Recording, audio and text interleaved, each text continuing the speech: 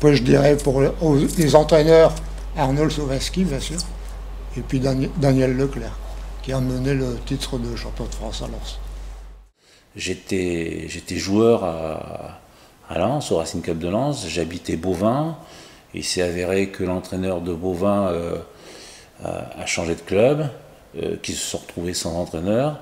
Et moi, comme j'allais temps le soir voir les entraînements à Beauvin, ils m'ont sollicité pour me demander si je voulais m'occuper d'eux. Je lui dit, bon, ben, si, vous voulez, je veux bien, passer des moments avec vous. Donc euh, les, joueurs se sont pris au jeu. Et puis, il y a eu la réussite exceptionnelle cette première saison-là, avec une victoire en, Coupe des Flandres, avec une montée. Et puis, ça s'est enchaîné. Derrière, euh, comme j'étais toujours joueur en lance, comme j'habitais, comme j'habitais toujours Beauvin, bah, j'avais encore de, de, temps en temps le temps de, m'occuper d'eux. Et puis ça a été vraiment euh, des années aussi exceptionnelles. Mais j'ai un parcours bizarrement euh, qui, est, qui, est, semé de, de réussites. Il y a toujours eu des réussites, alors que je voulais m'arrêter à la fin de ma carrière de joueur professionnel et dire bon ben je coupe avec le foot et puis euh, j'entraînerai certainement jamais, euh, mis à part l'épisode bovin. Et puis on a repris un commerce avec mon épouse à, Valenciennes, mais il s'avère que ce commerce, il était à 10 mètres du stade Ningesser. Donc euh, derrière, euh, on est venu me rechercher pour euh, donner un coup de main à M. Desmenets à Valenciennes. Et puis, et, puis, et puis ça a continué. Et puis au moment donné où j'ai arrêté, tac, on venait me rechercher. Et puis il y avait toujours cette réussite jusqu'au moment où, en, étant à Guénin, ici, pas très loin d'ici, bah, il y a toujours eu encore une fois cette réussite. Et puis que la Club de Lens m'a demandé pour revenir dans un premier temps au niveau des jeunes.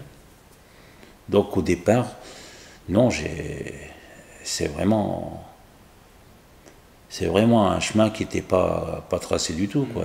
C'était pas, j'étais pas pour rester dans le foot. Et puis, et puis par contre, ben, j'ai toujours été rattrapé. Je suis arrivé, Jean-Luc Lamarche euh, m'a convié à un groupe que j'entraînais le soir à Léo Lagrange. Et puis, ben, il y avait, je me souviens de Johan Lachor, qui était à l'internat à Béthune, que sa mère a amené à l'entraînement le soir.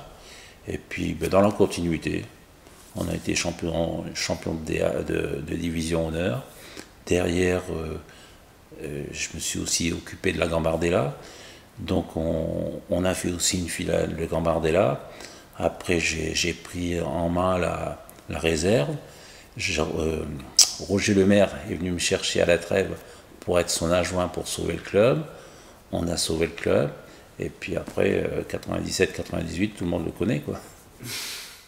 Moi, je suis quelqu'un qui a énormément confiance en, lui au niveau du foot, surtout. Et c'est déjà pas mal. Et puis, euh, qui est sûr euh, qu'il y a des convictions. Je dirais pas des, vraiment des certitudes, mais qui, a beaucoup de convictions. Donc, quand Gervais Martel et M. André Lévis m'ont présenté aux supporters je ne me souviens plus comment elle s'appelait cette salle au Stade Bollard, une ancienne salle. Et cette salle-là était remplie et c'est vrai qu'il venait de vivre un, épisode compliqué avec euh, euh, la descente qui, aurait pu arriver en fin de saison précédente. Et je sais que les supporters ont, posé la question à M. Delis et à Gervais Martel qu'est-ce que vous visez pour cette saison? Et ils avaient dit, bon, on va d'abord viser le maintien et puis on verra. Et quand les supporters m'ont posé la question, ben, je dis non, moi je ne vise pas le maintien, je vise, je dans un premier temps l'Europe. On verra plus tard. Et puis, euh, je, trouve que c'est valorisant et puis ça, ça, a dû être certainement motivant. Je ne sais pas si les joueurs ont entendu ces paroles, mais quand vous avez quelqu'un qui arrive et puis qui, qui, fait tout pour vous convaincre que vous avez les qualités pour jouer en haut plutôt que de jouer en bas, je trouve que c'est très valorisant. Et on a vécu euh, des moments avec, euh, avec Gus, avec, euh, avec Cyril, avec Jean-Guy, avec Fred, avec Marco, avec Hervé, avec Vladi, avec tous ces garçons-là. Vraiment, c'est avec Tony, une saison exceptionnelle. Moi, plus la saison avançait, et plus je me disais qu'est-ce que je fais là Ils, ont plus besoin de moi. ils étaient tellement, tellement travailleurs, tellement bosseurs, tellement eux aussi perfectionnistes à vouloir euh, se donner un peu plus que ça devenait vraiment euh, du rêve. Daniel Leclerc, je le détestais dans les six premiers mois et puis toute l'année du titre, je veux dire, on, ne s'est pas compris lui et moi.